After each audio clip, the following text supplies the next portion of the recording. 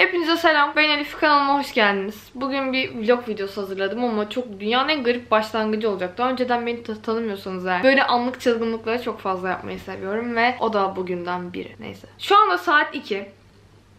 Ve bu saatte yapmam gereken zilyon tane şey olmasına rağmen yaklaşık 2 sezon falan dizi izledim. Ve yapmam gereken hiçbir şey yapmadım. Ve yarın saat 22.45'te oraya uçuyorum. Neden bunları yapmadığım konusunda en ufak bir fikrim yok. Neden yapmam gereken bir sürü şey olduğunda hiçbir şey yapmak istememem, yapmam gereken şeyleri yapmak zorunda olduğum için son dakikaya sığdırmam konusunda da en ufak bir fikrim yok. Em, bu durumu düzeltmek istiyorum ve bu durumu düzeltmeye galiba bugün başlayacağım. 23 Ocak çarşamba günü. Elimden geldiği kadar düzeltmeye çalışacağım. Yani 2019 hedeflerimin bir kısmını yapmaya başladım sayılır ama hala anlık olarak gelen bu bıkkınlık vaziyetini değiştiremiyorum ve bunu değiştirmeye çok fazla ihtiyacım var. Ve ben şu anda uyumayacağım. Çünkü şunu hedefliyorum. Şimdi uyuyup Yarın sabah kalkıp düşün makyajımı bile çıkarmaya üşendim neyse. Yarın sabah kalkıp sabah 10.30'da Üsküdar'da görüşmeye gitmeden önce valizimi hazırlayıp bulaşıkları yıkayıp ondan sonra evden çıkmayı düşünüyorum ve bunu yapamayacağımı o kadar iyi biliyorum ki. O yüzden şu anda gideceğim ve önce bulaşıkları yıkayacağım. Ondan sonra valizimin bir kısmını hazırlayacağım. Ondan sonra uyuyacağım. Ve bu da bir vlog başlangıcı. Hoş geldiniz.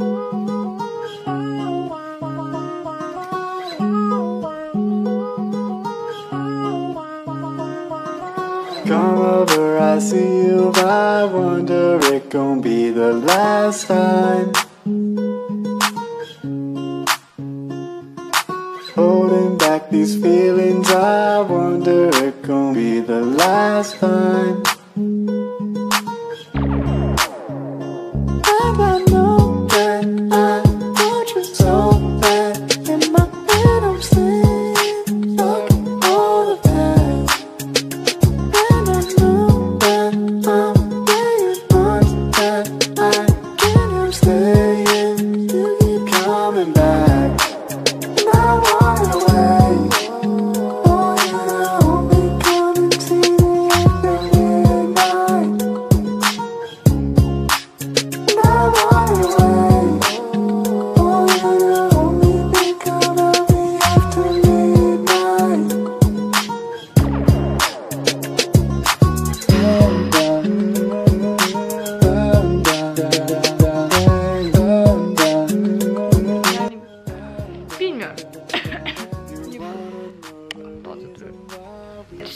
Bakalım saatimize. Saatimiz kaçmış?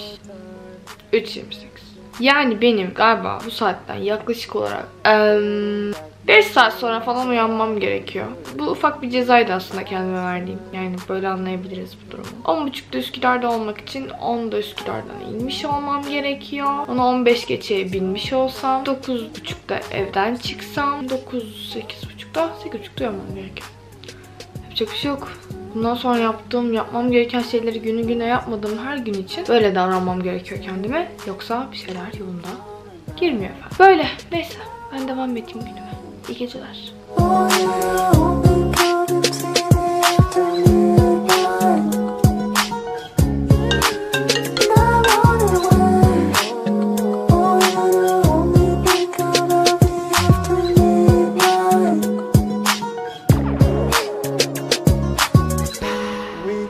Get it together. I can't let you slip away. Get it together. Günaydın. Saat şu anda 8.30 ve benim yaklaşık olarak 40 dakikada evden çıkmam gerekiyor. O yüzden görüşürüz. Come over, I see you. I wonder it gon' be the last time. Holding back these feelings, last time.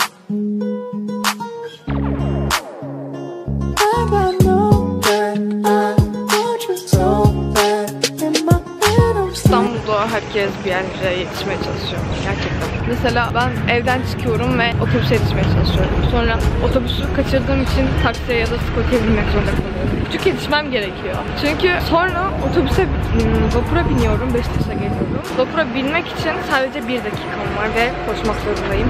Yoksa 10 dakika daha beklemek zorundayım gibi. Çok garip. Yani o yüzden bence İstanbul'da yorucu bir şehir diyorlar. Yani başka bir neden düşünemiyorum zaten.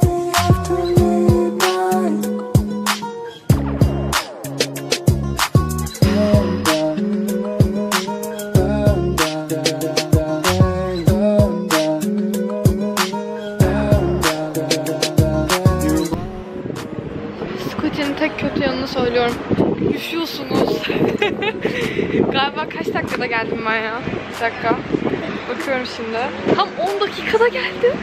Ağlamak istiyorum. Gerçekten çok iyiydi. Şimdi Yunus abinin yanına geldim. Şimdi artık öğrenebilirim.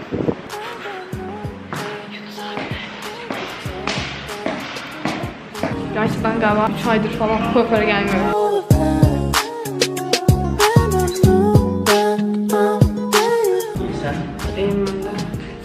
Aylardır hiçbir şey görmediği için rezil durumda. Bu konu hakkında ne düşünüyorsun? Aslında çok da kötü değil yani. rezillerinden korursun. Senin mesele vardır buna da şükür. Ne yapacağız? Aynen. Hep yaptığımız gibi. Paket mi yapacağız? Aynen. Tamam. Ben İstanbul'a geldim. Çılgınlar gibi kuaför arıyorum. İlk defa saçlarımı boyatacağım ama inanılmaz heyecanlıyım böyle. Sonra işte bir tane kızın blog yazısına rastladım. Ve onda şunu da fark ettim. Gerçekten kuaför aramak İstanbul'a gelen küçük şehirli bir insan için inanılmaz derecede büyük bir eziyet. Sonra işte Yunus abiyle falan tanıştık. Galiba hazırlıktan beri falan geliyorum ve inanılmaz derecede memnunum. Şey önemli bence kuaför seçerken. Sana, sana yakışmayan şey söylemesi lazım. Mesela işte bu senin yaşına uygun değil demedi. Hani genelde ben bir şey istiyorum ve çok abartı oluyor. Yunus abi diyor ki 35 yaşında mısın? Sonra aynı şey yapmıyoruz tabii ki. Aynı bunun gibi yapıyoruz. Şu da bunun gibi bir şey yapacağız büyük ihtimal.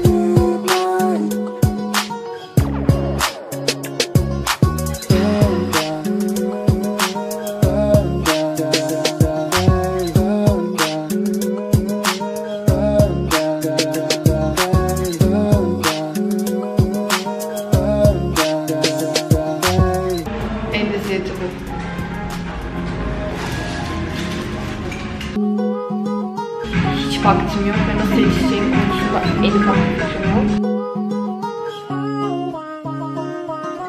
Come over, I see you. I wonder it gon' be the last time.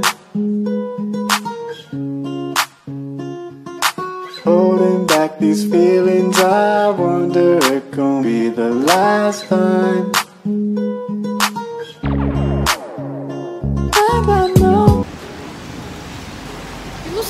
Her gelişimde ya. Her gelişimde yağmur yağıyor. Hayır bereketli bir insan mıyım?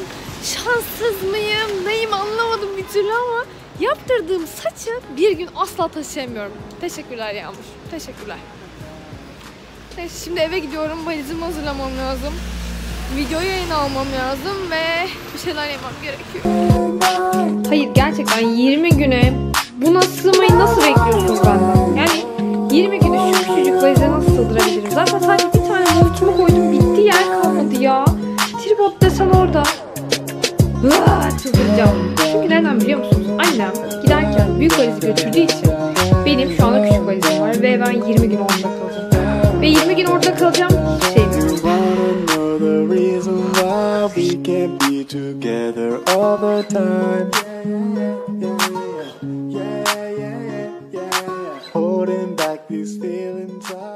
Gidiyorum gitmesine ama şu an şöyle bir problemim var. Bu problem de şu arkadaşlar. Bu arada saçlarımı umarım beğenirsiniz. Ben valizime sığamıyorum. O valize benim sığmam imkansız çünkü benim tripod götürmem gerekiyor. Yani normal bir üniversite öğrencisi gibi olmadığım için bütün böyle yükümle beraber kaplumbağa misali gitmem gerekiyor. Bu yüzden galiba kamp çantamı kullanacağım. Onunla beraber gideceğim. Ve şu anda saat 5.30 geçiyor galiba. Yani 15 dakikaya falan evden de çıkıyor olmam lazım. Nasıl be?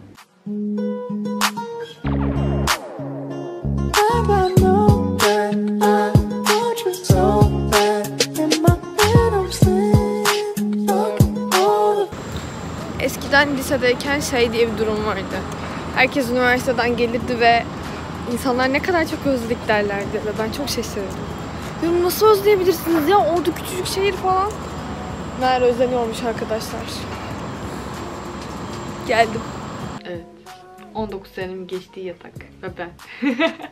Bugün böyle bitecek bir vlog olacak aslında işte oraya gelişim. İstanbul'da neler yaptım. Buraya geliyorum. Artık her gün aslında hemen hemen video çekmeye çalışacağım bu süreçte. Ee, bu benim için de bir challenge aslında. Vlog çekebilmeyi hızlandırabilmem gerekiyor. Çünkü aslında en kolay yapabildiğim şey vlog çekmek. Ama en zor yaptığım şey de vlog çekmek. Eğer bunu hızlı yapabilirsem böylelikle size daha çok fazla hayatımı paylaşabilirim. Hatta daha demin bir tane anket yaptım Instagram'da. Anket değil de soru sordum. Size neden vlog izlemeyi sevdiğinizi merak ettiğimi sordum ve birçok farklı şey söylendi. Ama aslında şunu fark ettim. İnsanlar hayatlarının simülasyonlarını karşı taraftan görmeye çalışıyorlar. Yani mesela benim yaşadığım şeyi siz de yaşayabilirsiniz ve bunu izlediğiniz vloglardan edindiğiniz deneyimlerle gerçekleştiriyorsunuz ve başka hayatların izlencesi sizin hayatınızın simülasyonu haline geliyor. Çok garip. Gerçekten öyle. Çünkü bunu fark ettim. İnsanlar şey diyor. Neden izliyorlar diye sorduğumuzda genelde şöyle yorumlar geliyor. Ya kendi elde edemeyeceğim hayatlara imrenerek bakıyorum. Ya kendi elde edebileceğim hayatlara ilham alarak ve imrenerek bakıyorum. Ya da bir şeyleri öğrenmek, başka insanların deneyimlerinden kendi çıkarımlarımı yapabilmek istiyorum.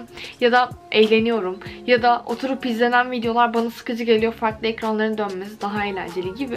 Birçok şey söyleniyor. Hayatımız kendi elimizde ve başkalarından izlediğimiz şeyler kendi hayatımızın sonuçlarını etkilemiyor. Bunu fark etmemiz gerekiyor. Evet deneyim öğrenmek çok iyi. Deneyim dinlemek, ilham almak inanılmaz güzel şeyler. Herkesin yaşadığı şeyi siz yaşayamayabilirsiniz. Sizin arkadaş grubunuz A kişisinin vlogundaki arkadaş grubunuz gibi olmayabilir. Hayatınızı başkalarına göre değil, kendi çizdiğiniz yolda yaşayın bence.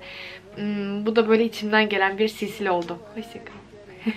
bir de şey kanalıma abone olmayı unutmazsanız sevinirim çünkü ben bol bol böyle şeyler anlatıyorum. Bir de böyle şeyler çekmeyi seviyorum. Instagram'dan da Elif diye birinin gün olarak beni takip edebilirsiniz. Hoşçakalın.